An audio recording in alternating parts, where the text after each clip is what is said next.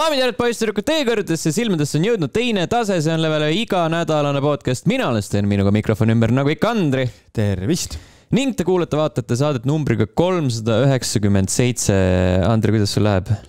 ütle, ütle eh, nii palju, kui sa tohid öelda selle kohta, kuidas sul läheb sa hästi suunatud küsimusena, ma saan aru. ühesõnaga, ma käisin äh,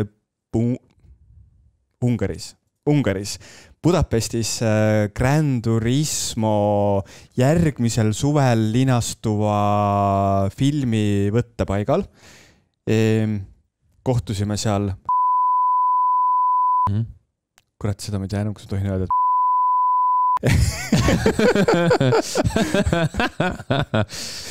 igal juhul äh, meil oli Gran Turismo sihuke meediapäev seal, kus siis äh, jah tore oli väga hea see on ainult positiivne. no siis on ju tore äh,. aga mis veel on tore, on see, et äh, meil on kommentaare ette lugeda.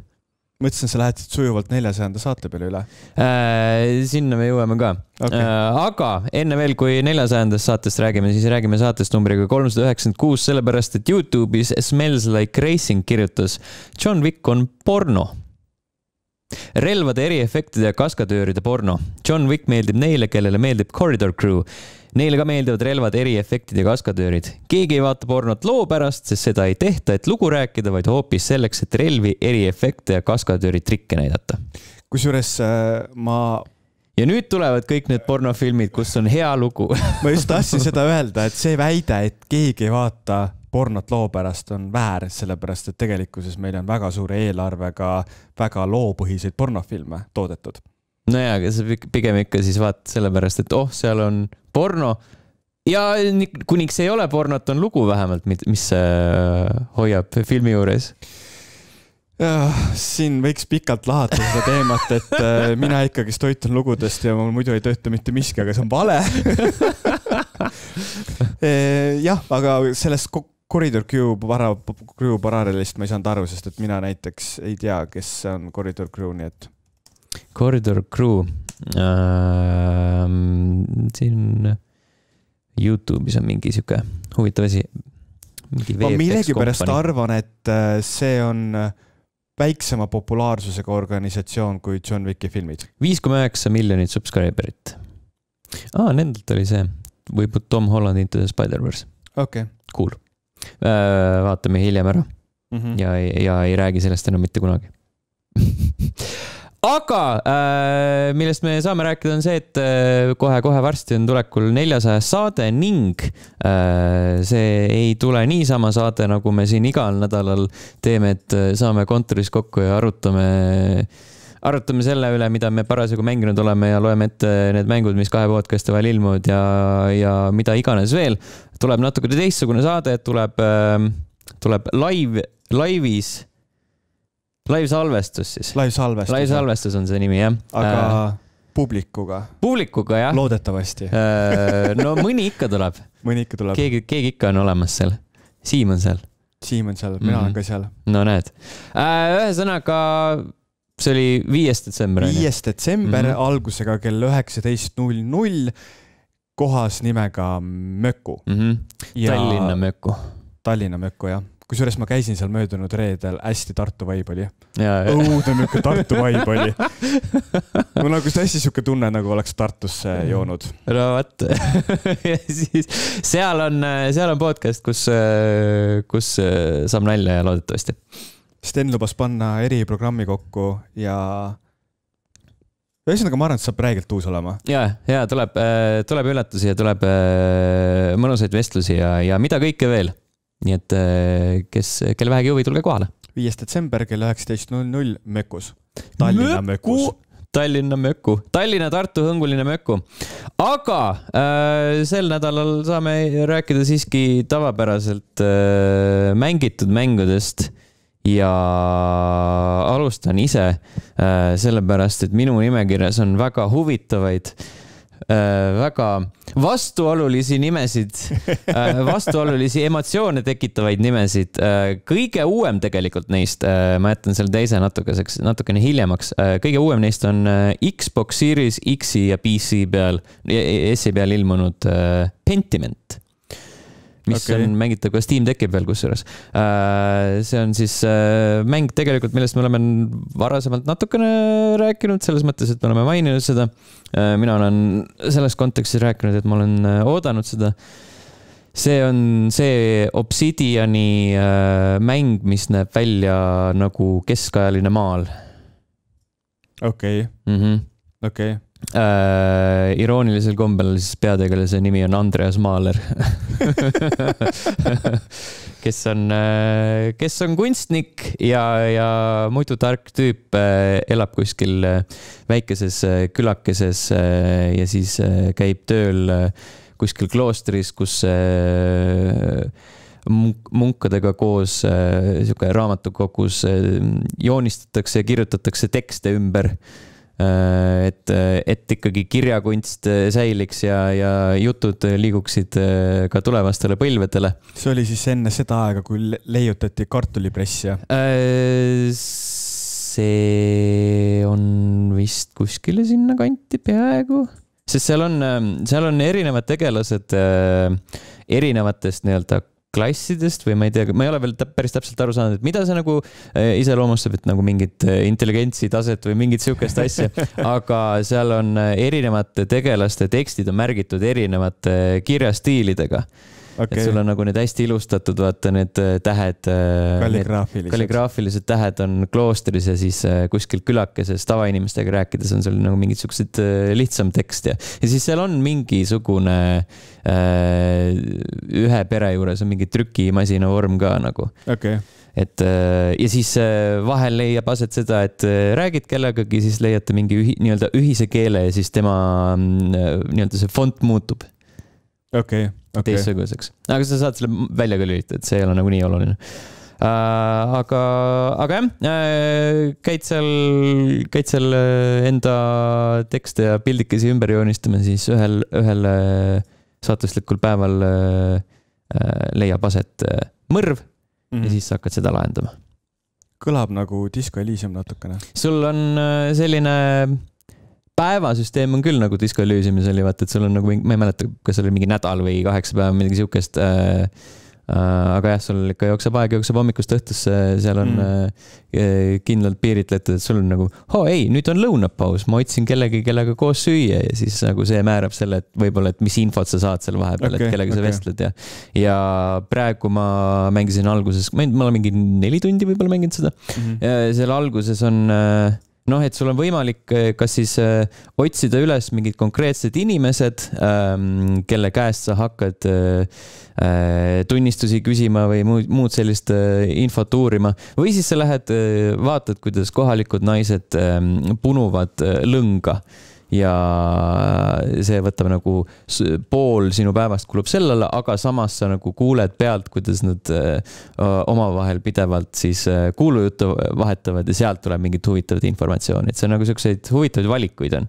pluss okay. siis no muidugi dialoogivalikud on ka, mis määravad, määravad selle, et kuidas erinevad tegelased sinusse suhtuvad ja nii edasi et see on tegelikult hästi tuus, sellel on hästi omapärane stiil äh,.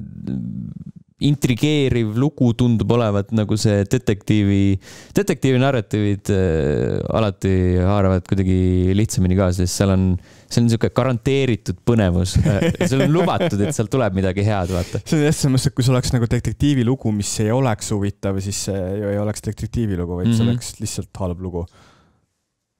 vot ei, aga see on, äh, see on minu meelest hästi lahe. Äh, peakski vaatama, äh, kui pikaks see võib kujuneda.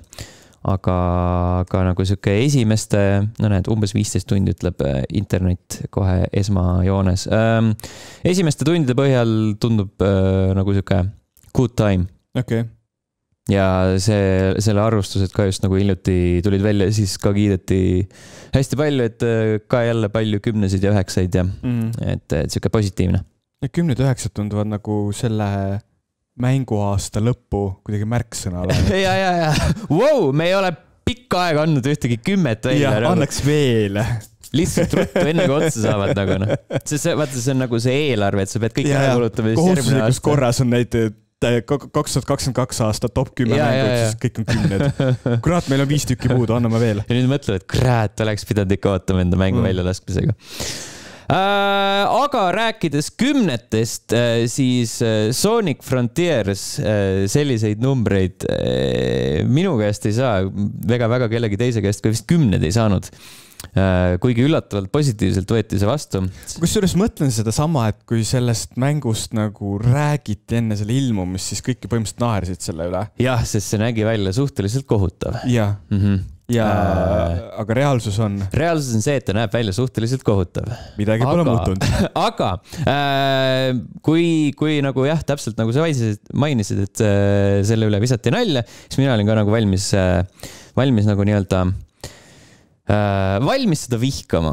aga sa ei saanud lubada selle mängu mittemängimist, olles elukutseline Sooniku fänn? jah äh,, ja siis, kui nad tulid äh, tulid äh, välja esimesed või noh, kui, kui need arvustused välja tulid, siis ma mõtlesin, et KTM nagu see ei saagi olema selline äh, nii-öelda nii halb, et on hea kogemus mm., et, et, et päriselt pean hakkama mingit eh, head mängu mängima, et nagu pisikene pettumus oli äh,. siis ma mängisin seda esimest pooltundi, esimene pooltundi, pool tundi oli nagu sellised äh, üllatavalt, üllatavalt fun.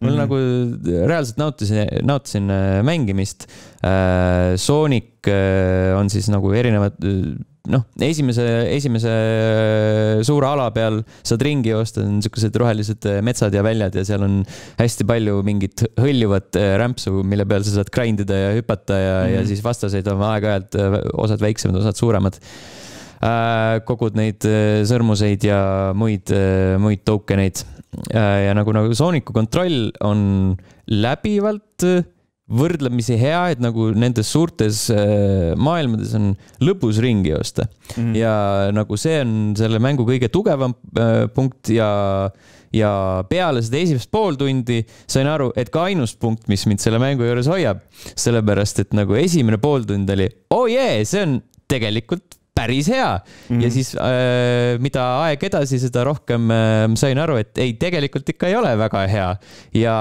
ja ja äh, asi lõppes sellega, et äh, iga nagu mööduv tund äh, muutis mind aina õnnetumaks äh,. aga see ei tähenda, et ma jätsin selle mängu pooleli, oh ei, mängisin selle läbi äh,. ma tegin kõik achievement'id ära. äh,. mul tuli mingi kakskümmend viis tundi vist kokku okay, umbes okay.. nii et äh, jah, väga vastuoluline ütleks ma selle peale. ma mõtlen, et kui sa nagu räägid sellest, et seal keskkonnas on lahe ringi joosta vähemalt esimesed kolmkümmend minutit mm, -hmm. siis see minu meelest peakski ju Sooniku mängu kõige põhilisem aspekt olema. mida sa veel sealt otsid äh,? sellepärast, et äh, Sonic äh,, Sooniku mängud, mis äh, reeglina peaksid olema kiirusest yeah.. Äh, igatahes Sonic Frontiers, mis samuti peaks olema kiirusest, raiskab meeletult palju mängija aega see okay. esimene pooltund nagu sa pigistad selle silma natukene kinni, seal on nagu need roosad prillid veel ees, aga mhm. tegelikult kui sa nagu äh, hakkad mõtlema, siis iga natukese ajaga tagant kistakse mängijal kontroll ära, et näidata, et aa, siin on see tutorial, siin on too tutorial äh,, siin on blablabla, blablabla bla, bla, bla. siis sul on äh, mingid erinevad portaalid äh,, äh millest sa lähed läbi, et mingisse teise levelisse jõuda, et mm -hmm. sealt Äh, seal saada piisavalt hea tulemus, mille eest sa saad mingeid võtmeid, mille eest sa saad lahti lukustada mingeid muid asju, mingeid muid äh, siukseid ähm, portaale, mis hoiavad kinni neid Chaos Emerald okay.. ühesõnaga, see on äh,, see mäng on otsast lõpuni üks äh, kollektaton, ehk sa pead mm. kogu aeg midagi koguma äh,. alistad vastaseid, kogud mingeid kogemuspunkte või siis saad neid äh, neid äh, hammasrattaid, millega sa saad neid portaale lahti lukustada, kus sa saad võtmeid, millega sa saad lahti lukustada Chaos Emeraldi punkte okay. ja nii edasi ja nii edasi ja nii edasi ja nii edasi. siis seal on mingid, äh, vahepeal on mingid cutscene'id, äh, kus sa räägid enda sõpradega, keda sa päästma pead, aga et nendega rääkida, on sul vaja koguda mingeid eri, veel omakorda ressurssi mm.. ja siis, siis seal on veel nagu igas levelis on võimalik kalal käia, kalal käimiseks on sul veel omakorda ressurssi ressurss ja siis sa kogud veel mingeid äh, selliseid tegelasi, kelle nimed on Coco Need on mingid pisikesed siuksed, no mingi kohalik rass nii-öelda mm. -hmm. ja siis nagu pisikesed siuksed ümmargused, mingid kivist, onju. ja siis nad alati hängivad seal, kus on äh, samuti kivist asjad, ehk siis sa kuuled mingit kõlinat, onju, aga sa kunagi ei saa aru, et okei okay,, kustkohast ta on. ja okay. siis lihtsalt äh, käib mingi plõnk, aa okei okay,, korjasin üles, selge, väga tore oh,. see on äh, rets mäng, äh, see ei näe visuaalselt eriti hea välja, eriti selline korralik õõvaoru tunne tekib, kui äh, multikalik Sonic jookseb seal hästi realistlikes äh, mm. äh, maailmades ringi äh,. siis seal on äh, vastased äh, ja nagu kogu selle äh, kõikide nende ehitiste ja nende railside, nende disain ei sobi ka mitte kuskile, see on ka mingi väga sihuke rõve mingi, kõik on lihtsalt mingist kivist ja, või siis äh, mingist äh, tumelilla, mingi siukse vahepealne, must-lilla vahepealsest mingist äh, ma ei, mis ta on, mingi sihuke särav äh,, särav materjal ehk siis põhimõtteliselt on nagu mingisugune kompott kokku pandud, mis esmapilgul tundub lahe, aga tegelikult sa saad aru, kui nagu tehislik ja võlts ja kui katki see on. jah okay.. jah, jah ja siis äh, kõige lemmik, viimased achievement'id, mis ma tegin, olid äh, karakteri arendamine mm. -hmm. ja siis äh, ja üheks äh, arendamise viisiks on siis nende kokode kogumine äh,. see arendab sul kas siis kiirust või siis äh, kui palju sa sõrmuseid saad äh, hoida mm -hmm. äh, parasjagu. Ja siis teine viis on, et sa kogud veel mingeid eraldi ressursse, kahte erinevat ja siis see Äh, suurendab kas su äh, rünnakuvõimet või kaitsevõimet. Okay.. see teine, see on nagu lihtne, äh, sellepärast et ma lõpus sain aru, et oo, et sa saad neid kõiki asju põhimõtteliselt kalal käies lunastada, et sa saad kalal käimise eest veel eraldi ressurssi, mille eest sa saad siis seal poodi minna ja osta neid asju. aga kõige tüütum on see, kui sa Äh, hakkad enda kiirust ja seda mm, sõrmuse mahutavust äh, uuendama mm, -hmm. sellepärast et äh, sa saad seda teha ainult ükshaaval. Max level iga asja puhul on üheksakümmend üheksa. Kui sa neid attack'i ja defense'i mm -hmm. suurendad, siis sa saad põhimõtteliselt ka kõik korraga, kui sa väga tahad. lihtsalt sa ei satu mängu jooksul väga sihukest asja, aga sõrmused, kiirus ükshaaval sa räägid mingi spetsiifilise tüübiga ja siis ta võtab jumala kaua aega, et äh, seda teha. Äh, ja kui sa tahad panna kiirelt, vaata, et davai, võtame uuesti, siis mm -hmm. probleem on ka see, et menüüd on siga aeglased ja see mingi, sa pead legit mingi sekund-kaks ootama, enne kui sa saad noole alla vajutada ja siis sa saad selle uuesti panna, selle tööle. ja siis okay. nagu kogu see animatsioon on ka seal veel mingi äh, mitu, viis sekundit umbes või Gotta run fast.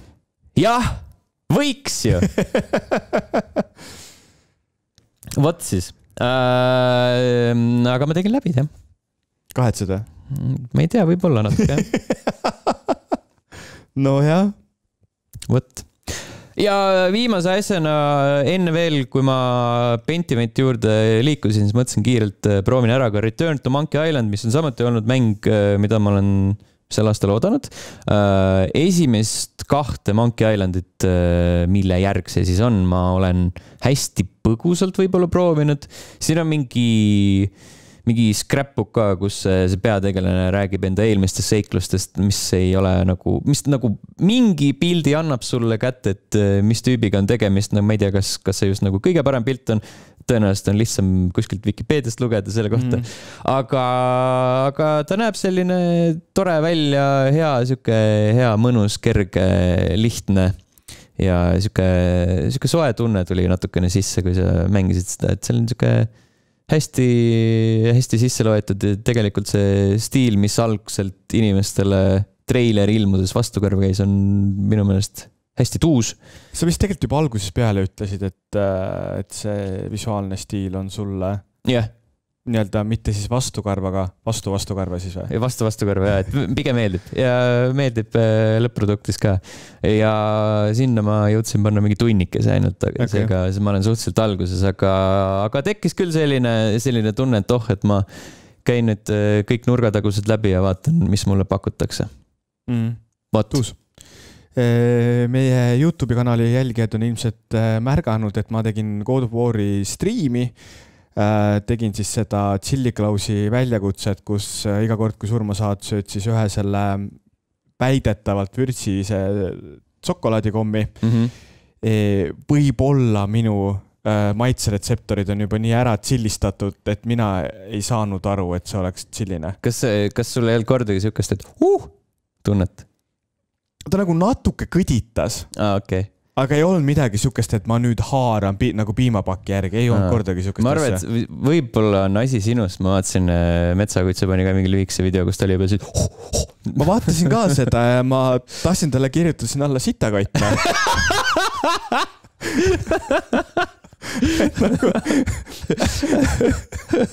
kui Rainer ei oleks nii tore poiss, siis ma, siis saaks, kas Metsakuts on sitakott pealkirjaks panna. aga ma igaks juhuks ei tee seda. selles mõttes, et ta on nagu päriselt väga tore inimene, aga, aga ma natuke nagu kuskilt kolmandatest pooltest ka kuulsin, kuidas tegelikult nagu, kuna need kommid on mõeldud meie regiooni väga eriväljaandena bla,, blablabla teemad, Chili Klausi veebilehel on need level viisteist pandud, onju. kas sa vaatasid, aa, eestlased peavad ka sööma neid, andke neid kõige lahjemaid. ma nagu, eestlane on see, kes paneb nagu kuradi soola peale uh,, uh, nii vürtsikas. see läks nüüd küll praegu, mu tatrapuder on nüüd nagu mai-, maitsega. issand jumal. et noh, võib-olla on seal asi selles, et tegelikult seal on nagu see juhuslikkuse alusel need kommid on, et äkki mul on siis sihuke pakk, kus ei olnud neid vürtsiseid. ma ei tea, igal juhul ma suutsin kolm pakki ära süüa ja mul lõpuks läks nagu süda pahaks sellest magusast, et mm. Mm. nagu ma ei ole harjunud nii palju magusat korraga sööma. aga tulles siis nüüd nagu mängu juurde, siis äh, mäng ise näeb visuaalselt väga lahe välja, nagu me oleme rääkinud, onju. ja kas ma olen ainus, kelle jaoks see esimene lõpuboss nii maru raske oli või? karu, jah, karu ma ei tea, sa mängisid raske peal ka muidugi. no jaa, aga ma hakkasin järjest kergema peale võtma, sest et ma ei viitsinud kogu aeg neid komme süüa nagu, muutus mõttetuks. ma ei tea, eks seal, eks seal võib olla, mina panin normaliga vist, tegin selle ära esimese korraga. okei okay. Aga no võib-olla on ka asi selles, et ma tegelikult seda esimest mängu ei ole mänginud nii palju ja lihtsalt kuidagi see ka noh, tegelikult Playstationi pulti pole nii pikalt käes hoidnud, välja arvatud siis teine mäng, Gran Turismo, mida ma nüüd vahepeal olen siin päris palju mänginud selle jaoks, et mitte Ungaris häbisse jääda ehm,. mul nagu Gran Turismoga on mingi teema, et ma tean, et see seitse on nüüd nagu maha tehtud või noh, kuidagi ala sisu on vähe ja blablabla bla,, et nad ei suutnud neid servereid kokku panna ja Mhm. ja nad ei suutnud kogu seda e-spordi teemat sinna nii kiiresti nagu kaasa tõmmata. aga seal on nagu minu jaoks mingisugune võlu ja mulle tegelikult Gran Turismo mänguna väga meeldib. ja ta ongi nagu, ütleme niimoodi, et kui mul oleks püsivalt rooli setup kodus püsti või kui selle ülespanek ei oleks nii tülikas mulle, siis ma arvan, et ma mängiksin Gran Turismot rooliga tunduvalt rohkem. ja noh, puldiga sa ikkagi, sa ei saa seda nagu, mina näiteks puldiga ei oska manuaalkäigukastiga sõita ja mm.. seal kuidagi nagu sõites automaatkäigukastiga sul minu meelest kaob nagu pool võlus, võlu sellest mängust ära. et kui sa rooliga mängid, sa saad neid käike lapata ja see on kuidagi nagu, sa tunned nii hästi ennast seda tegevust tehes, et nagu kuuled, nüüd on aeg käiku vaadata, siis paned üles, siis aa, et nüüd ma võtan käiku alla ja siis hakkad mingi käik, käikude allatõmbamisega pidurdama, mingeid siukseid asju tegema, et see on nagu ma saan aru sellest, et ma olen elus kolm korda päris autoroolis olnud, sellepärast et minu jaoks nagu see mängu mängimine tundub nagu päris või et ma naudin seda. Mm. et noh, ma tean, et nagu päris autoroolis öeldakse, et noh, mingi, see on õige asi, onju, mul nagu mingi, et, et kui nagu vaata, see on nagu vürtsise toidu söömisega, onju, et sa ei tohi ennast ära harjutada, sest et siis sa hakkad rohkem tahtma mm.. Mm. et nagu mulle meeldib oma selle Logitechi rooli peal vahetada käike ja mõelda, et ma nüüd tunnen, kuidas siin see tee vibreerib ja teeb asju nagu. ei saa, muidu hakkad päris autoga kuskil rallitama ja nüüd hakkad tahtma omale päris autot või lube varsti või on,. varsti on avariid äh, järgi jah, mulle piisab sellest, et mul on parkimiskoht. mm. -hmm. pluss saad nagu äh, õlle alati kõrvale panna, vaata ei pea süümekat tundma selle pärast, kui mängid. Ja autoroolis ei ole siukest, siukest luksust väga mul õnnestus sõita siukse simulaatoriga, kus oli õlletopsi hoidja. mm,. no vot, no vot, me oleme ikkagi arenenud äh, rahvas. me saame aru, mida inimesed tahavad, onju. juua ja roolis olla. oi plinn, oi plinn. jah, ja seda hakatakse aina rohkem tahtma, nüüd on inimesi kaheksa miljardit. ja, kusjuures äh, see summa üle kaheksa miljardi oli juba päris suur. jah kunagi.... mida te teete, kas te ei mängigi videomänge või? kunagi oli meid tunduvalt vähem. jah. vot siis, aga need olid mängud sel nädalal. enne veel, kui me uudiste juurde liigume, siis Youtube'is on selline kena tore nupuke nagu join sellele.... kas ma saan siin teha ülemineku? ka ei kurat, see oli teisipidi, sorry. ühesõnaga, ma tahtsin öelda, et äh, tegelikult meil, meid on üks, üks inimene vähem on praegu join inud.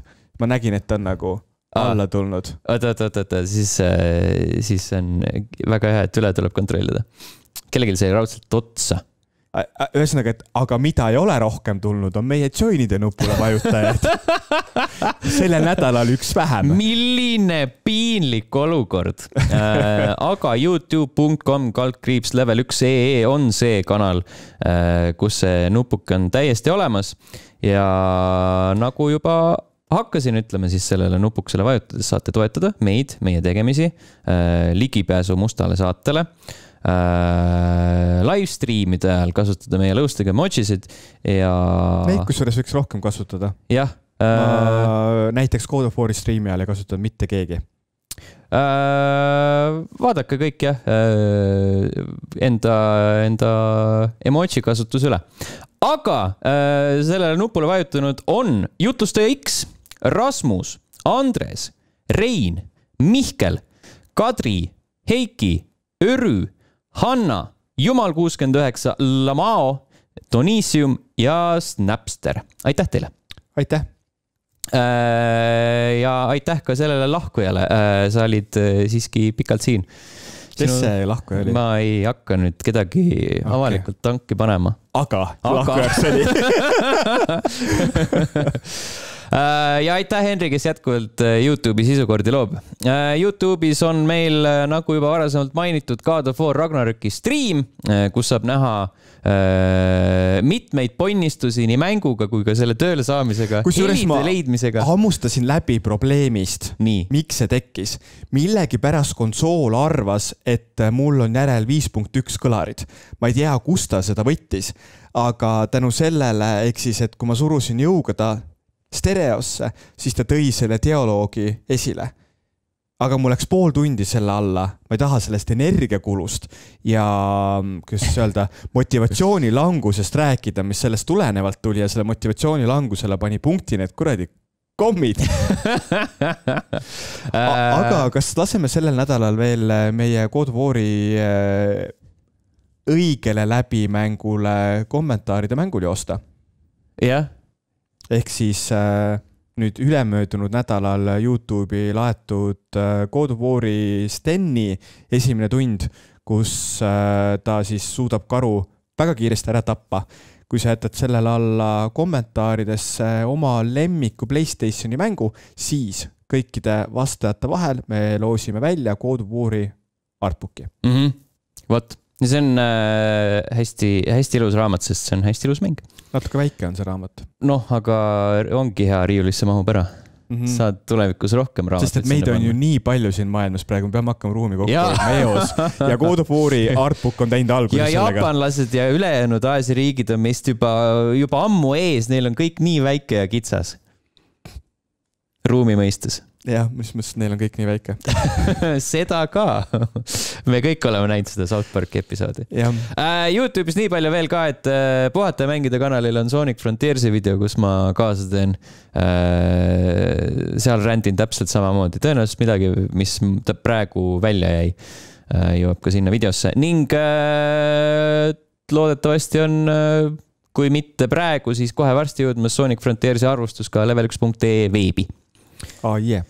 ning mängud, mis kahe podcast'i vahel ilmuvad uh,. Üs kaheksa, Lacrimosa of Dana mm,, PS5 peal. Dark Pictures Anthology The Devil in Me, PC, Playstationid, Xboxid. see on nüüd uus jah? see on see kõige uuem okay.. Uh, Marvel's Spider-man Miles Morales PC peal ah,. Yeah. Uh, Heidelberg tuhat kuussada üheksakümmend kolm, Playstationid, Xboxid ja Switch ning Pokemon Scarlet ja Pokemon Violet Nintendo Switchi peal, kõik see kaheksateistkümnendal novembril Miles Morales sai kohe ka Steam Deck Verified. Steam Deckil on äh, ta mängitav jah äh,. ei saa üle ega ümber sellest masinast äh,. kahekümne teine november Evil West PC, Playstationid, Xboxid äh,. Twenty Two Racing Steve, Series Steam Early Access PC peal äh,.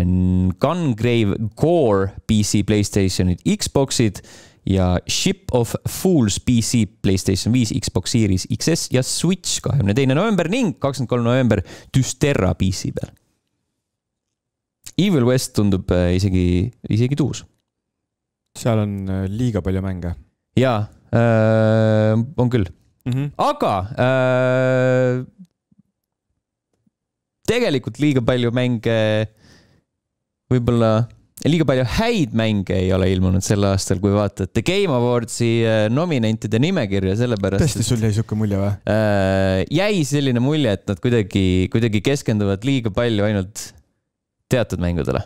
okei okay.. ühesõnaga, The Game Awards kaheksandal detsembril äh, mingil ajahetkel äh, toimub järjekordne suurejooneline treilerite näitamine, kus vahepeal vetsupauside ajal jagatakse ka auhindasid Äh,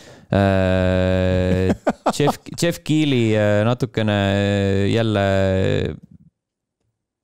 sügab oma ego mm -hmm. ja eputab, aga aastamängule kandideerivad A Plague Tale Requiem, Elden Ring, God of War Ragnarök, Horizon Forbidden West, Stray ja Xenoblade Chronicles kolm kas see tundub loogiline nimekiri sinu jaoks? Elden Ring ja God of War Ragnarök tunduvad loogilised okay.. ülejäänu äh, on nagu selline eh, aga samas ülejäänu aasta on ka olnud selline eh. okei okay.. nagu mida sa sinna kõrvale paned, nagu Horizon Forbidden West äh, nagu selle skaala mõistes äh, tundub õige koht selle jaoks mm. -hmm. aga kui ma hakkan nagu mõtlema tagasi selle mängu peale, siis see ei jõua isegi minu top kümnesse. et nagu see mitte oli, midagi meeldejäävat ei olnud? see oli väga meisterlikult valmistatud kesine mäng. aga, aga lihtsalt see oli okei okay. mm.. nojah mm. -hmm. ma vaatasin äh, seal kogu see nimekirja, ma käisin läbi, seal oli üks, kas varasemalt on ka antud, äh, kui sa nüüd scroll'id veel natukene mm, -hmm. seda parim. parim mingi nii. kus siis olid äh, need Netflixi seriaalid kõik äh, sees? parim adaptatsioon. jah, parim ja, adaptatsioon, kas see on äh, varasemalt ka olnud? ei, see peaks olema uus asi, aga. ma just seda mõtlesingi, et see nagu mul ei tulnud see adaptatsioon nimi. jah ja., sinna jõudsid äh, sarjad ja filmid, mis põhinevad videomängudel ning selles äh, nimekirjas on Arcane League of Legends äh,, Cyberpunk Edge Runners, The Cuphead Show, Sonic the Hedgehog kaks ja Uncharted'i film ehk siis põhimõtteliselt kõik, mis möödunud aastal videomängude adaptatsiooni valdkonda tehti. no põhimõtteliselt, kui sul on Uncharted juba, siis. ja siis sa saad aru, et nagu see latt oli madal. ei, aga, aga tegelikult nagu seda äh, mitte, mitte et need äh, nominendid, mis siin igal pool kirjas on, oleksid halvad, aga lihtsalt, et kui sul on äh, parima kaklusmängu kategooria ja sul on seal äh,, vaata, vaata mit, mitu äh, täpsemalt Äh, sul on vist, jaa, sul on viis nime mm -hmm. ja üks nendest ei ole kaklusmäng, vaid on Sifu siis äh,, siis võib-olla, võib-olla ei olnud kõige parem aasta. Äh, jah, aga tõesti. kõige viljakam. mingid žanrid jäid sellel aastal kuidagi vähema tähelepanu alla, aga see tuleneb ka sellest, et sul on, need žanrid oma olemuselt on natuke väiksemad ja nende žanri siis sellised, kuidas öelda, kõige suuremad nimetajad on tegemas uue mängu kallal tööd, mis siis kõik peaks järgmisel aastal välja ilmuma, näiteks Tekken, Street Fighter mm., kõik siuksed asjad ja noh, olgem ausad, kaklusmängude žanr ei ole kõige populaarsem olnud viimastel aastatel. nojah, aga siis lihtsalt tehke nelja, nelja nimega ah, no see kategooria, see ei pea lihtsalt toppima seda viiendat sinna, kui see ei ole kaklusmäng, see, et sa nagu peksad seal hästi palju, see on okei okay,, see žanrina ei ole kaklusmäng mm -hmm. igatahes äh, kõige populaarsemaks äh, teoseks on God of War Ragnarök, kümme nominatsiooni äh,. Elden Ringil on neid seitse äh, ja Horizon Forbidden West ja Stray vist olid kuu, ei. kui sa seal võtad äh, leveli ühe veebilehe ja kirjutad sinna Control F, siis sa leiad äh, ka selle kõik kenasti üles äh,. ma ei pannud seda numbrit sinna levelimasse. et Aa. mitu otsing äh, kuvab sulle. ja seda küll jah, tõsi, tõsi, aga nüüd ma olen juba teises kohas, kus ma panin need äh, numbrid kirja, need kõige olulisemad numbrid äh,. ehk siis Elden Ring ja Horizon Forbidden West mõlemad seitse, Stray kuus äh,, Plague Tale Requiem, Requiem viis ja Xenoblade Chronicles ja hästi paljud teised mängud veel olid kolmega. ja parimaks äh, e-spordi võistkonna nime kandva kategooria all kandideerib ka Robin Robsko ja tema võistkond Pace. sa jah aga Eestiga teine seas on äh, Blake Dale Requiemi kandideerimine parima muusika äh, tiitlile, sest seal on äh, see Eesti koor. on või? jah, see noh, issand jumal, ma just panin ära äh,. mis see nüüd on äh,? ERSO või? ei, ei, ei, ei, ei, Eesti koor äh,. Eesti Filharmoonia Kammerkoor. laulab seda tervet soundtrack'i või? ei nagu, ma ei tea, kui, kas tervet, aga osaliselt kindlasti. see on ju reegelt lahe, seda ma isegi ei mm. teadnud kusjuures see on isegi mõnda aega vana uudis, mida me tõenäoliselt ei ole saates kajastanud täpselt samamoodi nagu mul on igal nädalal uh, ununeb see ära, et Dorf Romanticut saab eesti keeles mängida nüüd Steamis. ja, päris pikalt juba ja, saab mängida. Aga iga kord äh, ununeb ära. igatahes kaheksateist detsember, äh, kõiki nimesid ei viitsi ette lugeda, siin on äh, hästi palju. Leveli veebilehelt leiate kogu selle nimekirja koos kõikide nominatsioonide ja kõige muuga mm. -hmm. vot äh,, nagu keda huvitab parim sisulooja, ma ei tea neid nimesidki peale nii palju äh,. saate lõpus äh, tuleta mulle seda parima sisulooja teemat meelde, sest mul on selle kohta päris palju kogemusi nüüd äh,. see on seesama. parim sisulooja. jah. olemas.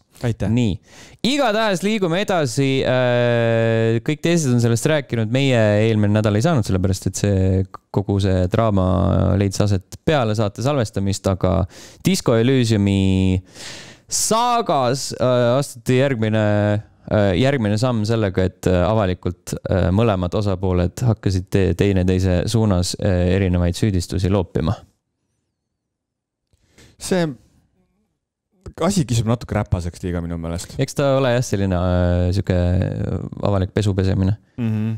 et äh, see on nagu siiamaani tundus nagu sihuke isegi okei okay,, tsiviliseeritud, et jah, et davai, et vaatad siin äh,, avastad kuskil andmebaasis, et vennad kohtuvad kohtus, et davai, tehke ära mm. -hmm. keegi ei melise kuskil avalikult ja siis praegu räägitakse sellest, et äh, Kurvits ja Rostov ütlevad, et äh, Disco, ei, tähendab Saum stuudio ähm, äh, enamus saadi Linnamäe käest kä äh, pettuse teel mm. -hmm. kasutades siis selleks äh, Saumi enda raha, ehk siis endine nii-öelda väikeosanik Tütrike OÜ mm -hmm. kasutas Saumi raha selleks, et seda enamusosalust saada. ja siis Saumi poolt tuli kommentaar, Games Industry vist oli see portaal, kus nad ütlesid, et kus ühtegi nime ei mainitud, aga öeldi, et toksiline töökeskkond, diskrimineerimine, sealhulgas siis nagu seksism ja, ja enda töökohustust kohustuste mittetäitmine ja, ja siis äh, IP äh, edasimüümise katse mm -hmm.. jah, olid need asjad uh,? noh, jah. täpselt. jah ega siin ei ole tõesti midagi võt-, võtta äh,. sihuke. no mis selle puhul kõige. keeruline teema. kurvem on, on see, et tegelikult kõik ju ootavad, mida antud mänguettevõte järgmisena teeb.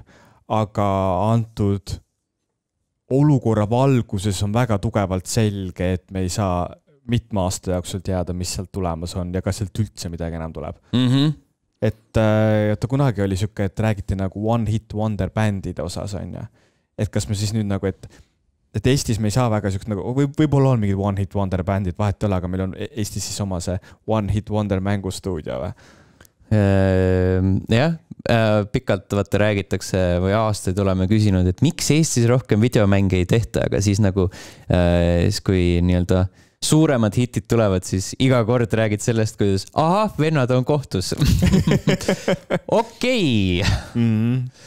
võib-olla sellepärast Äh, teine, oota, oota, isegi siin mitu, järgmine draama äh, oli seotud äh, Doom Eternali, Betesta, id Software'i, Mikk Gordoniga, kõik need osapooled, kus ma seda eelmist osa nii-öelda saagast ei mäletagi, kus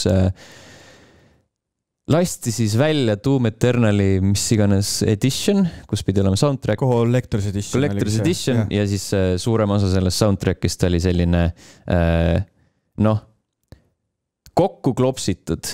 seal oligi see, et äh, Final Remixi ei teinud Mikk Gordon ise ja nii palju, kui ma sellest ka praeguses Gamma-jaast aru sain, siis tegelikkuses äh, sinna Collector's Editioni soundtrack'i peale läksid väga paljud äh, muusikapalad, mis tegelikult olid konkreetselt mängu sisse mõeldud mm, -hmm. ehk siis äh, mis peavad siis nagu läbi erinevate tegevuste mängusiseselt muutuma. ja et noh, et see, need ei ole nii-öelda nagu terviklikud üldse Mm -hmm. ja seal neid punkte, milles siis Mikk Gordon äh, Doomi tegijaid süüdistab, on veel oi-oi-oi kui palju äh,. aastal kaks tuhat kakskümmend oli see juba, kui äh, id Software'i äh, ninamees Marty Stratton äh, Redditis äh, rääkis, kuidas äh, Mikk Gordon on paha-paha, et äh, tema tõttu jäid kõik asjad hiljaks ja, ja, ja tegi äh,, tegi kehva tööd ja saatis ainult äh, mõned äh,, mõned palad äh, sellest lubatust. nüüd noh, kaks aastat hiljem, küll aga Mikk Gordon siis ütles, et talle aitab, et nüüd on minu kord rääkida. ja siis ta rääkis sellest, kuidas keegi talle nagu ei öelnudki, et ta peab tegema seda. nagu see etteteatamine oli väga-väga lühike ja, ja üleüldse väga keeruline oli seda tööd teha.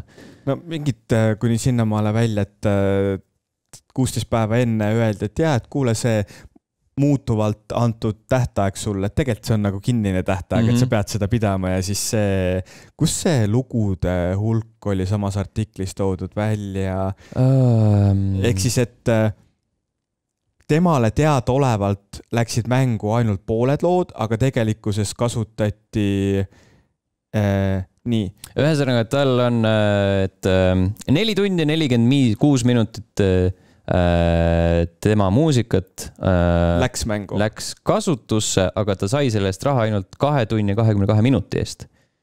ehk siis ta on umbes nagu sihuke poole eest ei saanud rahagi. aga see oligi see, et tema arusaamist mööda need pooled lood ei sobinud Mm -hmm. ja mhm. need nagu ei ah,. siin äh, kaksteist lugu soundtrack'i jaoks ähm, kuue, kuueteistkümnes aprill tähtaeg mm, -hmm. mis ja siis ta ütles, et äh, see on nagu sihuke painduv ja ta saab boonust, kui, Betesta lubas boonust, kui ta tabab nagu see, jõuab mm -hmm. tähtajaks. ehk siis väga-väga sihuke messi äh, situatsioon, siin äh, veel üks väide on see, et ta kaheksa kuud tegi tasuta tööd ja alles siis sai raha ja siis järgmised üksteist kuud jälle tasuta tööd ja alles siis sai raha nii-öelda. või noh, jah, piinlik jah, eks nagu selles mõttes, et äh, nende sihukese loomingulise töö eest äh, rahade maksmise puhul me küll ilmselt Mikk Gordoni puhul räägime täiesti teistest summadest, aga ma olen ka natuke sihukese asjaga kokku puutunud, kus sa põhimõtteliselt äh, monteerid terve hooaja ära ja siis pead järgmised kuus kuud produtsenti taga ajama selle jaoks, et oma, oma nii-öelda põhimõtteliselt viimase aasta ja töö, tööraha kätte saada mm, -hmm. et see on äh no see, see vist natukene on sarnane asi, mis Disco Elysiumiga, ma arvan ka, et võib juhtuda, ehk või nagu juhtus, ehk siis, kus sul nii-öelda siis loomeinimesed ja ärimaailma inimesed saavad asjadest teisiti aru mm. -hmm no ja siin äh, lõppkokkuvõttes äh, Gordon väidab, et nad äh, Strattoniga leppisid kokku, et me teeme nagu ühisavalduse, räägime, mis läks valesti ja kuidas nagu seda olukorda parandada.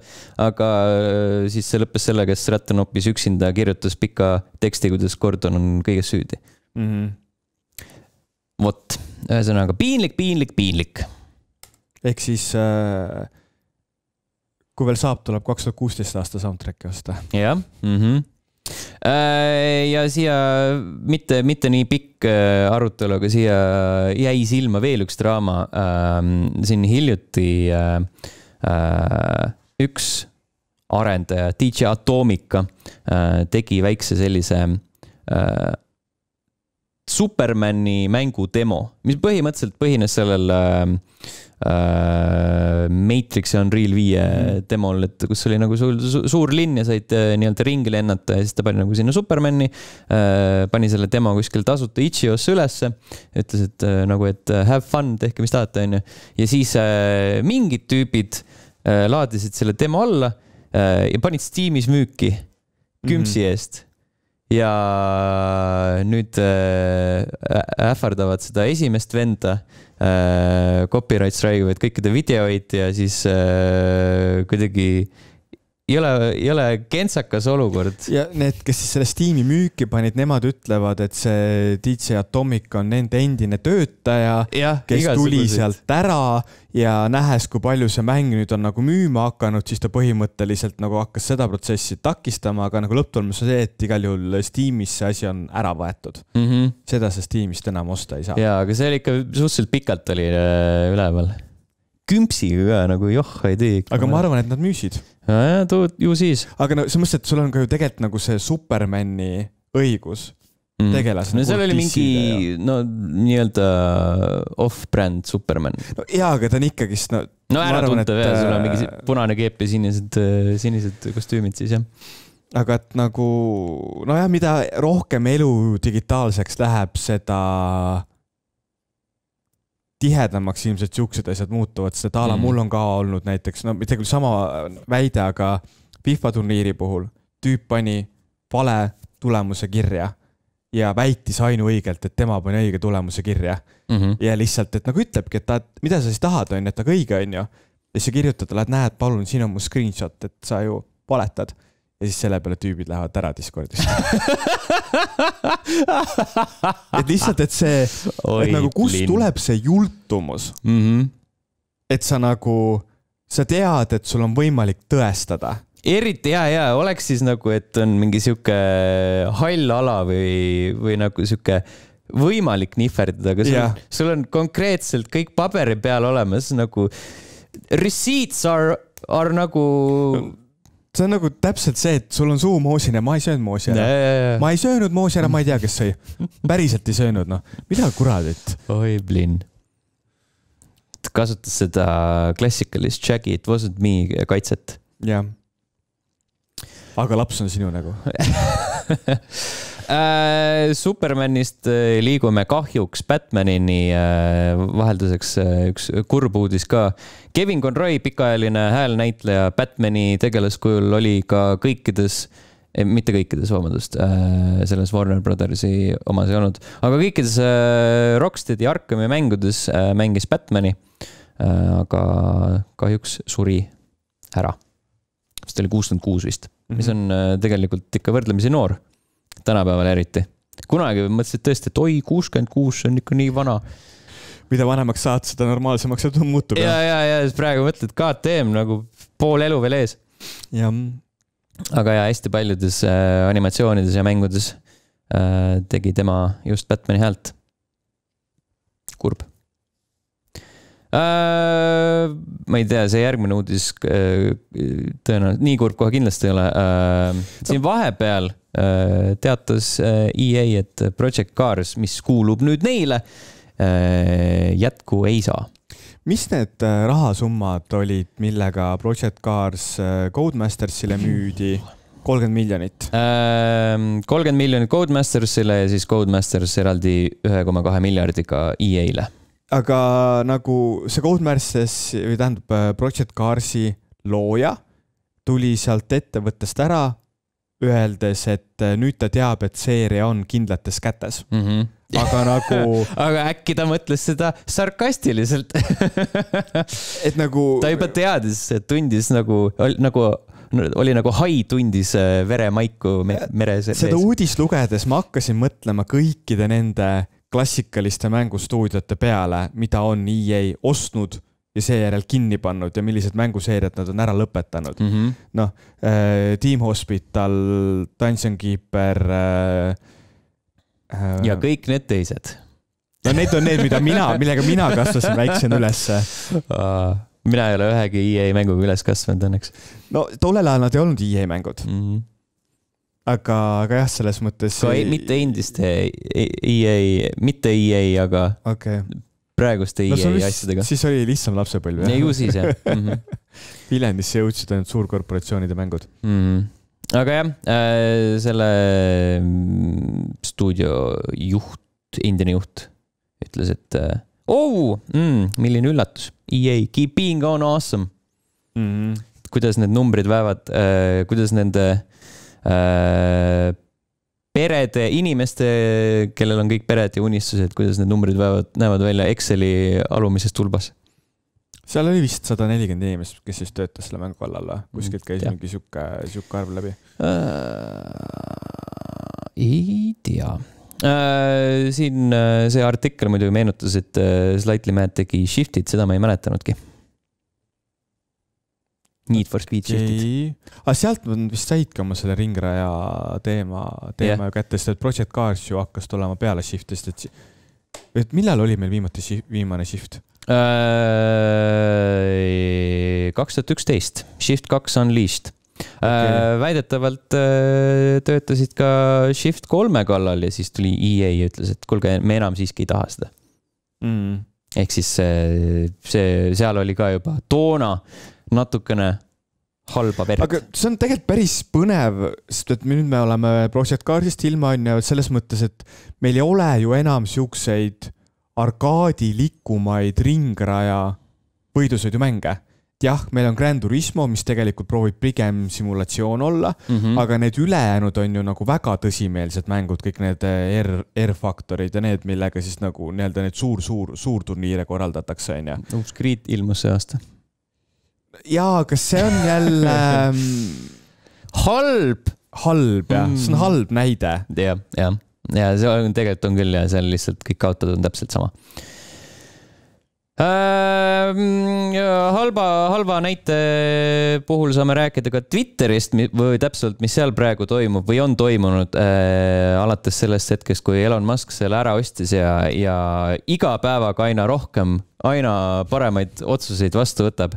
lihtsalt sa näed avalikult, kuidas need hammasrattad äh, seal peas liiguvad, sa ei, ei ole enam sihukest mõistatamist, et huvitav, kuidas see inimene töötab, sa näed teda, ta live mm. tweet ib seda mm..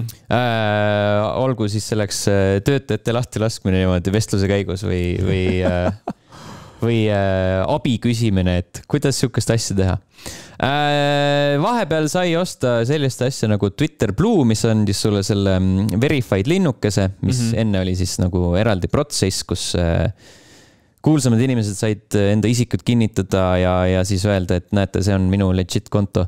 aga nüüd sai igaüks osta seda vahepeal, enam ei saa. Äh, põhjuseks see, et äh, hästi palju võltskontosid tekkis, kes äh, igasuguseid naljakaid ja vähem naljakamaid asju hakkasid postitama.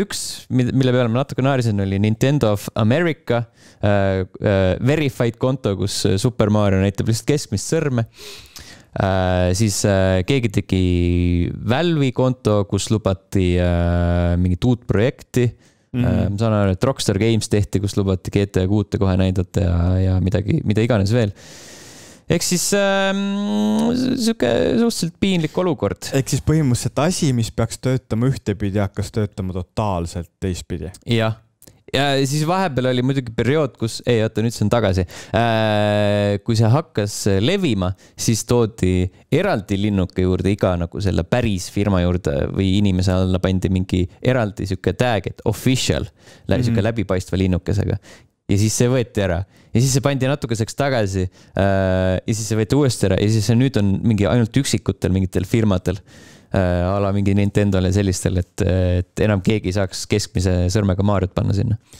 pluss Twitter Blue pandi ka nagu selle subscription'i ostmine pandi ka kinni. ehk siis põhimõtteliselt Elon lihtsalt lahmib äh,? jaa äh,, viimane asi, mis oli nagu sihuke suur porno, oli see, et ähm, äh, two-factor authentication äh, äh, läks katki, sellepärast et äh, sa ei saanud enam seda sõnumit, see süsteem, mis saatis sulle selle numbri sõnumiga, see ei mm -hmm. tööta. ehk siis jah, hästi, hästi lähevad okay.. ja mänguteemaliselt siis ka veel see, et Twitter Gaming, selline populaarne konto Twitteri enda enda ökosüsteemis, siis see on ka pikalt vait olnud, mis tähendab tõenäoliselt seda, et need inimesed, kes seda haldasid, on vallandatud. nagu hästi paljud teised Twitteri töötajad.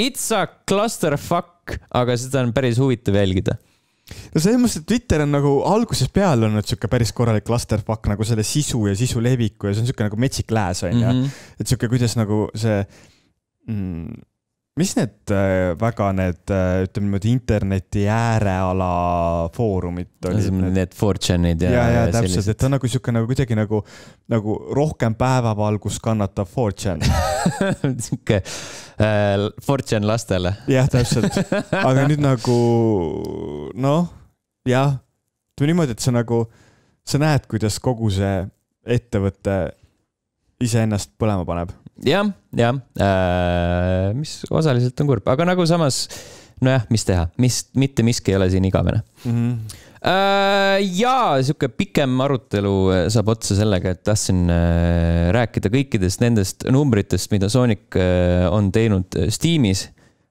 praegu püstitati uus rekord samal ajal mängivate inimeste suhtes. Sonic Frontiers äh, meelitas ligi siis üheksateist tuhat sada kaheksakümmend üks inimest eelmine rekord oli Sonic Mania käes, mis oli üksteist tuhat üheksasada kolmkümmend seitse. ja siis sealt edasi on äh, Sonic and All Stars Racing Transformed, mis on tõenäoliselt äh, Sooniku kaardimängudes kõige parem. viis tuhat kaheksasada kuuskümmend üks, ilmselge sihuke allakäik juba Sonic Origins kaks tuhat kuussada kuuskümmend kaheksa, Sonic Forces, mis oli absoluutne rämps, kaks tuhat viiskümmend kaheksa. Sonic Generations, mis on parem kui Forces, äh, tuhat kuussada kaheksakümmend kuus. Team Sonic Racing tuhat viiskümmend kuus ja Sonic Lost World kakssada viiskümmend kaks. piinlik piinlik, piinlik, piinlik. aga kas äh, Steam on põhiline platvorm, millel Sooniku mänge mängitakse? eks nad pigem on ikka konsooli peal lihtsalt. ma ise arvan sama. lihtsalt äh, eks ta mõnes mõttes nii palju näitab seda populaarsuse vahet, sest Sonic Lost World ei ole vist kunagi kiita saanud kuskil väga mm.. seega on suhteliselt ausalt seal lõpuosas.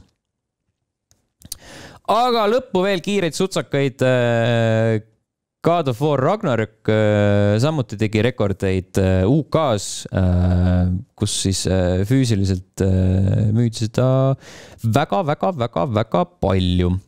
Became the bestseller blablabla bla, in terms of week one sales and also lifetime sales for this franchise. Num-, numbrit ei ole öeldud või? Äh, ei, ma kuskil nägin Twitteris äh, mingit sellist hüpoteetilist äh, või vist keegi oli nagu nii-öelda.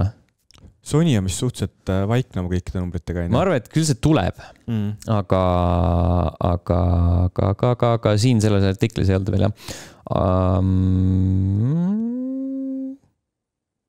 Ah, eelmine, eelmine osa saavutas just suht hiljuti selle kakskümmend kolm miljonit mm.. nii et äh, ja tõenäoliselt Ragnarök lööb selle üle ja kiiremini. Witcher kolme Next Gen update jõuab veel enne selle aasta lõppu kohale neljateistkümnendal detsembril äh, uutel konsoolidel PC peal. kas see siis on äh, ilma rahata uuendus või? see peaks olema ilma rahata uuendus. okei okay Free for everyone who already owns the game, jep uh,. huvitav, kas uh, läbi selle tuleb arvuti peale ka mingisugust ametlikku graafilist uuendust või mm,? võiks ju. võiks küll, jah mm.. ma sain aru, et sinna lisatakse mingid uh, mingid elemendid, mis, mille on loonud nagu need modifikatsioonide loojad, ehk siis. no ma just nagu mõtlengi, et seal on nagu kogu see Witcher kolme modifitseerijate valdkond on ju väga aktiivne nad teevad väga-väga head tööd. ehk siis, et sealt noh, ta tavaliselt see niimoodi käib, et sealt võetakse mingid head projektid üle, makstakse neile mingit raha või a la nad saavad töö, onju, onju. ja siis noh, praegu mm -hmm. ju räägitakse tegelikult ainult konsoolidest, Witcher kolme sellest mitte arvutiversioonist. nojah, aga see tuleb ikkagi arvutile ka. okei okay., tuus äh,. Remedi kinnitas, et äh, töötavad Control kahe kallal uutele konsoolidele PC peale, ehk siis siin ei ole enam mingit äh, eelmise generatsiooni konsoolide äh,. paska. ei, mitte seda, ma tahtsin nagu nämmutamist või siukest. nojah, et sa ei pea seda vana sokki järel, järel lohistama. jah äh,, rääkides vanadest sokkidest, siis Battlefield kaks tuhat nelikümmend kaks jõuab äh, Xbox Gamepass Ultimate'i läbi EA Play mm. -hmm. No seni on ju seda saanud äh, kümme tundi mängida, kui sa oled äh, arvuti peal Gamepassi kasutaja. mul on tõenäoliselt see, sellest kümnest tunnist järele, oi kui palju. mul samamoodi vähemalt pool ja EA asjadega lõpetades siis ähm, äh, kohe-kohe äh, algab jalgpalli mm, vastuoluline mm Kataris, ähm, kus, kus äh, mitte keegi väga rahul ei ole sellega. olgu siis selleks viisid, kuidas need staadionid on valminud läbi töötajate kehvasti, kehvades tingimustes hoitavate töötajate surmade või siis kõige malbem probleem on siis see, et see toimumisaeg on nii jabur, et keegi ei näe seda väga. aga juhus, juhul kui kedagi huvitab, keegi vaatab, siis võite teadmiseks võtta, et kasutades, kasutades FIFA mängu, siis EA ütleb, et Argentiina võidab ahah. Need olid uudised. jopp, Antonio äh,, parim sisulooja. Ühesõnaga äh, Gran Turismo reisist äh, rääkides on nii palju, et sinna oli toodud üle maailma minu meelest kuskil neljakümnest või viiekümnest erinevast riigist influencer'id kokku mm. -hmm. ja mina olin ilmselt siis üks väheseid nii-öelda meedia poole esindajaid. see tähendas seda, et ma istusin ühise laua taga inimestega, kellel on näiteks Youtube'is kuusteist miljonit subscriber'it või ühe tütarlapsega, kes müüs kahe ja poole miljoni dollari eest oma videote, vanade videote reklaami kuvamisõigused maha uh,. ehk siis et firma lihtsalt lükkab sinna enda reklaamid peale või? et see firm, firma põhimõtteliselt saab äh, kogu nende vanade videote reklaamitulu endale. aa, okei okay. mm ok, ok, ma ei mõista seda, seda. ühesõnaga, ma isegi ei olnud teadlik, et sihukest asja on, aga tema teenis kaks ja pool miljonit sellega ja tema üks tuttav Youtuber teenis viis miljonit sellega, et põhimõtteliselt lihtsalt müüd nagu vanad videod, need jäävad sinu kanalile, aga sina enam selle pealt reklaamiraha ei saa. Okay.. ja siis need lähevad sellele ettevõttele. Huh,. Okay. ja siis seal oli siuksed nagu väga paljud maailma mastaabi inimesed, kes tegelikkuses mulle näo järgi olid kõik täiesti tundmatud et selles mõttes, et mul oli nagu tuus moment. mitu nagu miljonit nagu... subscriber'it Youtube'is? kuusteist siis äh, joh, ei tea ei no selles mõttes, et no tegelikult jaa, kaheksa miljardi äh, võtmes on seda tõesti vähe, siis ei peagi teadma. no noh, nagu igal juhul nad, äh, mulle meeldis see, kuidas nad kõik olid äh, sisuloojatena, suhtusid minusse kui võrdsesse, vähemalt nii-öelda dia-, dialoogi kontekstis mm. -hmm. ja kui avalikult näidati statistikat ja just nagu ka sihukest raha teenimise statistikat, et näiteks ähm, kui palju on USA äh, CPM ehk siis tuhande videot, video vaatamise pealt teenitav raha suurem kui Brasiilias tuhande video pealt teenitav raha mm. -hmm. näiteks sellel samal tütarlapsel, kes kahe ja poole miljoniga oma asjad maha müüs, temal oli praegu tuhande vaatamise pealt äh, kuusteist dollarit, aga Brasiilias oli kaks koma neli dollarit. kas sa tead, palju meil levelis see on praegu? Äh, mingi tuhande vaatamise pealt või yeah.? mingi kuusteist senti. neli koma kaks dollarit. Damn, päris hästi. Saaks tuhat vaatamist. Kahjuks ei jõua sinna, jah. Igal juhul jah, nad äh, rääkisid kogu sellest äh, telgitaguste poolest näiteks, et kui äh, ühel Amsterdamis elaval tüübil, kellel on siis see kuusteist miljonit jälgijat, kuidas tema töötab. ehk siis tema on päevas kaamera ees ise kolmkümmend minutit, aga tema alluvuses on üle kahekümne viie inimese, kes siis teevad kogu selle töö ära tema jaoks, ehk siis äh, kogu diilide hankijad, stuudiokoordinaatorid, monteerijad, tamm, thumbnail'ide tegijad mm, -hmm. kõik, kõik, kõik siuksed asjad, et sa oled nagu üks Youtuber, kes siis esineb oma nime ja näoga ja sul on kakskümmend viis inimest palgal. jah, see on nagu lihtsalt see klassikaline, Hideo Kojima mäng ja siis Kojima on lihtsalt, pange selle tüübi nimeks Hartman. jah, täpselt. Tim, ship it. Ja lihtsalt noh kogu seda taustaosa kuulata, seda oli räigelt põnev ja mulle meeldis see, et äh, ma sain omale neli follower'i juurde Gains. Gains jah. oi, plinn. aga nad on väga edukad follower'id aa, ei, pull. jah. see on tuus äh, siia lõppu asjadest, mis võib-olla ei ole nii tuusad, kui nad võiks olla, vaatasin ära lõpuks ometi Thor, Love and Thunderi. ja, siis veits oli nagu äh, saast. Äh, kas selle filmi probleem on siis see, et mis see viimane Thori film oli? see oligi. ja ka enne seda äh,? Ragnarök. Ragnarok. nagu God of War, aga Thor äh,.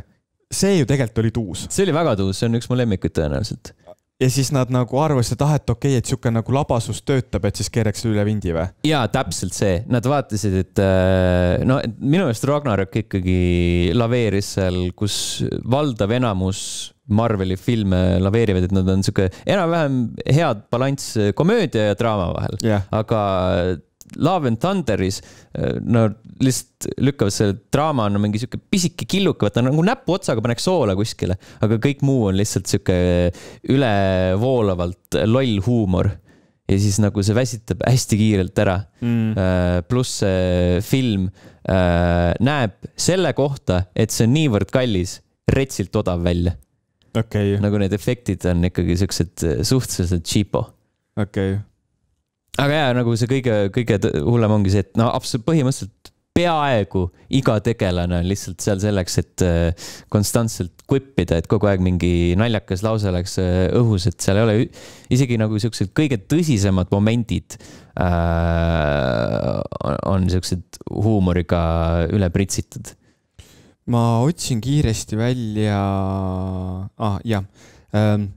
mina hakkasin lennukiga lennates vaatama sihukest sarja nagu Players mm, -hmm. mis on siis äh, fiktiivsest äh, professionaalsest League of Legendsi võistkonnast sihuke dokumentari laadne sari, millest on äh, esimene hooaeg ja mulle, mulle täitsa meeldib, kuidas äh, sul äh, mm, nagu suudetakse mõnitada väga humoorikalt kogu seda professionaalse e-spordi tseeni ajuvabadust. no näiteks sul on üks mängija, kelle nimi oli Nutmilk. ja siis äh, ta nagu naerab ise selle üle, et tegelikult jaa, et see ongi nagu noh, pähklipiim on ju, mitte mingi sperma aga et mingi ahahaa ja siis ta pidi nime ära vahetama, siis nüüd on cream cheese ah,. see on klassikaline see äh, oleks tunduvalt naljakam, kui see oleks nagu klassikaline doktor Beepi olukord mm. -hmm. aga jah, selles mõttes Players, teda minu meelest vist äh, Eestis, ma ei tea, kas saab üldse kuskilt näha? ma ei tea ah,, nüüd ta on BPMD. ahah, noh jah, ta ilmselt sealt see sihuke asi nagu oligi mm, -hmm. oligi mõeldud, et äh, Players mulle, kes nagu proovib mingis kontekstis ka nagu äh, e-spordi stseeniga kursis hoida ennast, siis äh, ma ei tea, miks ma näppudega näitasin. E-sport. Eesti e-sport. et äh, selles mõttes äh, tuus, et mina sain täitsa naerda ja sain täitsa aru sellest problemaatilisusest ja ka tegelikkuses kogu see Grand Turismo film mingis kontekstis hakkab seda sarnast teemat, teemat lahkama. Mm.. et kui tegelikult kõrvaltvaataja jaoks arusaamatu võib see valdkond olla, milles miljonid ja miljonid inimesed igapäevaselt elavad. mis sinu nii-öelda middle name on äh,? mulle tehti Team Secreti jersey mm -hmm. ehk siis on see e-spordi särk on ju ja siis, et äh, tehti siis sinna selja peale nimi on ju, et noh, et mis sa siis tahad sinna. ja siis mul on nagu Andrei ma olen vist liiga vana selle jaoks, et nagu mingisugust, ma ei tea, mingit alter, alter ego omal kuskil net, no, netis hakata välja võtma. jaa, aga nii ei saa, igalühel e-spordis on olemas enda, enda sihuke tunnus. vähemalt üks. vähemalt üks, jah Äh, Eestis on sul kombeks vähemalt neli ja sa kasutad neid paralleelselt. iga platvormi jaoks üks nimi ja siis sinu jaoks on see arusaamatu, miks sul ei ole nagu kõrval monitori peal Excelit, kus sa siis nagu control F-iga nagu otsid, et aa, see, see, see, see, see. täna see mäng äh,, olen see. jah. ei nojah selge. Äh, teie jätke enda e-spordi nimed alla kommentaarides, järgmises saates loeme need äh, ette. Äh, ja kiidame kõige parema nime väljamõtlejat verbaalselt. Või siis viiendal detsembril. või siis viiendal detsembril füüsiliselt jah. ühesõnaga kohtume juba järgmisel nädalal ja kohtume ka viiendal detsembril Mökus. tšau. tšau.